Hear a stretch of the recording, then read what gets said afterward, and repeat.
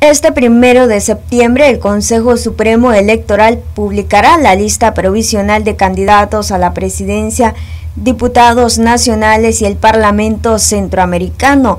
El candidato a diputado del Parlacen por el APRE, Winston Betanco, afirma que este partido no hizo ningún cambio a dicha lista que entregaron a este poder del Estado y será la misma que publicará. Presentó en su momento, en tiempo, en tiempo y forma, eh, la lista de candidatos.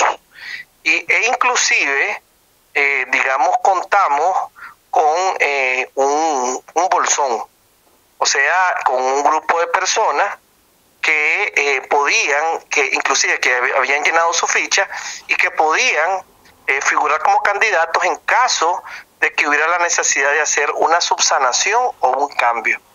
En este caso, pues no la hubo. Nosotros esperamos que en términos generales, pues la lista que presentamos sea la lista que mañana eh, salga publicada eh, en carácter de eh, lista preliminar de candidatos. Básicamente lo más importante es que no hubo ninguna renuncia. algunas, digamos, subsanaciones sí hubieron, más que todo por efecto, por ejemplo, de algunos candidatos que la ley te permite ser, digamos, eh, candidato por un departamento si es tu eh, departamento de origen.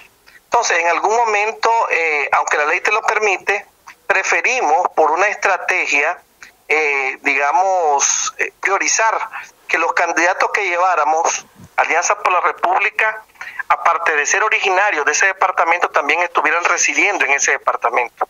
Y el objetivo de esta estrategia, Darling, era garantizar que los candidatos tuvieran una participación activa en la campaña. Betanco afirma que se están preparando para el inicio de la campaña electoral y que los fondos será una limitante para todos los partidos políticos. Yo creo que esta campaña va a ser muy diferente, esta campaña eh, va a ser muy austera por parte de todos los partidos, pero eh, para ejecutar las acciones que tenemos planeadas, eh, se cuenta o se tiene la capacidad para gestionar esos recursos.